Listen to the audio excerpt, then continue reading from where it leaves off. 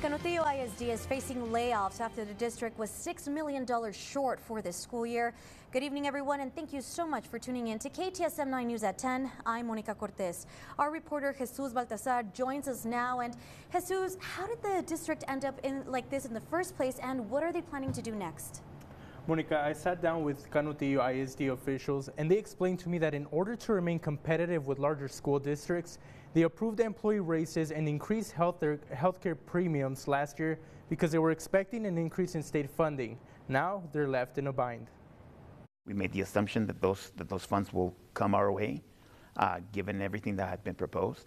Uh, and unfortunately, that didn't happen. After four separate special sessions, the Texas legislature failed to pass any bills that would increase funding for school districts. As a result, Canutillo ISD has been dipping into their emergency fund in order to cover rising expenses. We can't uh, continue that route because if we do, uh, we will have financial uh, consequences. Consequences such as a negative credit rating or even bankruptcy. Canutillo ISD has already eliminated 13 positions, 8 of which were occupied, but are trying not to lay off teachers. We try to minimize the impact that it has in the classroom. However, as they try to balance this year's budget, there might not be any stone left unturned. Everything's on the table right now.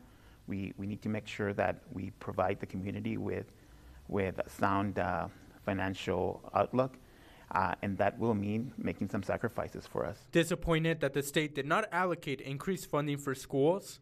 I can see that they wanted the best for our kids, and unfortunately, it didn't work out. Gomez shares her concerns. I think transparency in this kind of situation is really important. I hope that they um, are solution oriented and, and come forward with kind of what they plan to do ahead of all of this.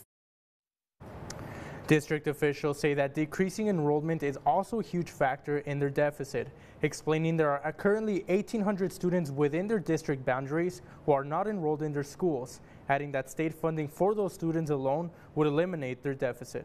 Monica? Thank you so much, Jesus. And, and you were saying that Canutillo ISD, they're planning to uh, ask the voters to approve a bond. Where is all that money going to go now? So, uh, Monica, Canutillo officials explained that there are two main objectives with this potential bond.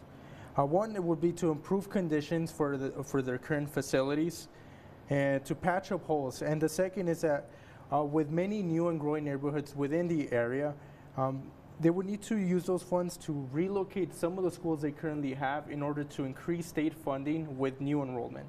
Oh, that's incredible. Thank you so much, Jesus, for that report.